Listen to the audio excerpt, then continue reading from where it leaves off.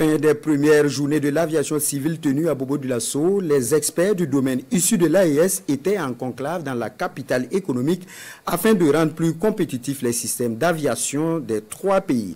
Ces journées se sont achevées avec des recommandations pour le développement de l'aviation. Les grandes conclusions avec Hassan Gourabou et Kadouro Menki.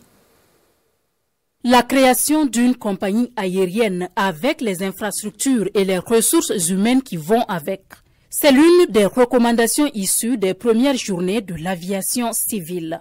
Des journées de réflexion qui ont abouti à des conclusions fructueuses pour les systèmes d'aviation des trois pays de l'AES. Entre autres recommandations, l'on peut citer.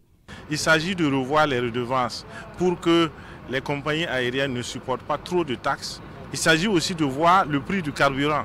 Pourquoi ne pas harmoniser le prix du carburant à l'échelle des pays membres de l'AES Faire en sorte que les produits qui viennent de l'extérieur de l'AES et dont nos pays ont besoin, qu'on puisse les faire venir à des coûts très très compétitifs et très intéressants pour nos populations. Autant d'actions qui vont contribuer à désenclaver ces trois pays sans littoral.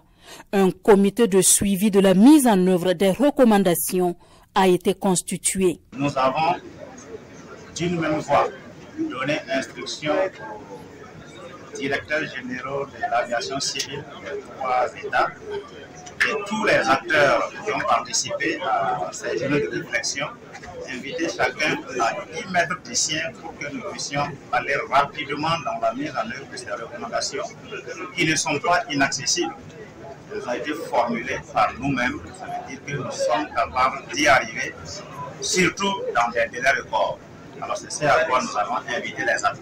Autre conclusion issue de ce rendez-vous de Bobo Dioulasso, l'institutionnalisation de ces journées de réflexion.